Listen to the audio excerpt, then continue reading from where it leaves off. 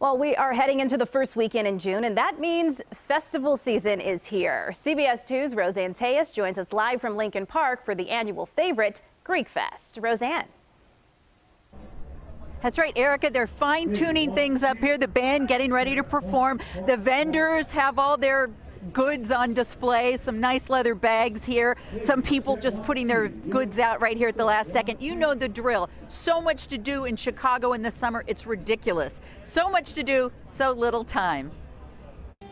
Chicagoans are gearing up for a busy weekend. The White Sox play on the south side. At the lakefront, Soldier Field will fill with fans of pop star Taylor Swift, who performs tonight. And festival season is underway. Gospel Fest was all about music as it kicked off at the Cultural Center. It is an experience that you can never forget. If you're brought up with the Word of God, you got to get your praise on. Gospel Fest moves to Pritzker Pavilion tonight and Millennium Park Saturday. On the north side, it's all about the food as they shaved gyro meat in preparation for hungry crowds at Greek Fest. The best Greek food in the neighborhood. You've got vendors who bring all kinds of different merchandise and things that are very interesting for people.